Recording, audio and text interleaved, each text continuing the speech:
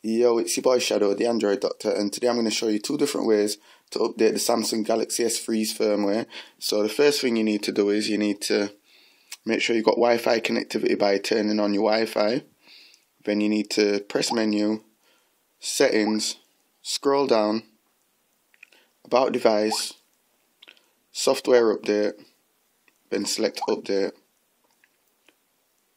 Okay, so as you can see, it says no update available. Sometimes there will be an update available, but you'll still get that message. So the best way to actually get the update is to just download Samsung Kies, which is this right here.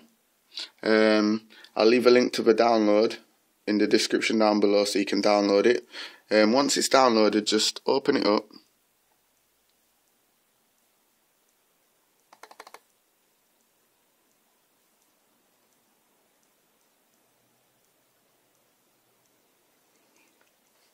Then connect your phone to USB.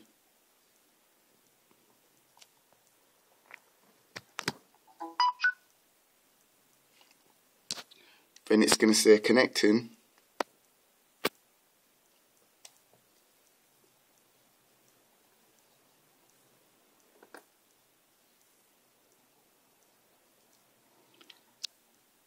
Okay, so I've already updated my phone, so that's the reason I'm getting this message, which says this is the latest firmware. But if there is a firmware update available, you can just go ahead and download it and install it onto your phone. So yeah, this is just um, a video showing you how to use Samsung Kies. Um, in case you tried downloading the update from off the phone and it wasn't available. So um, that's about it for the video. If you like the video, please be sure to give it a thumbs up and also subscribe to my channel for more videos. Thanks for watching. Bye.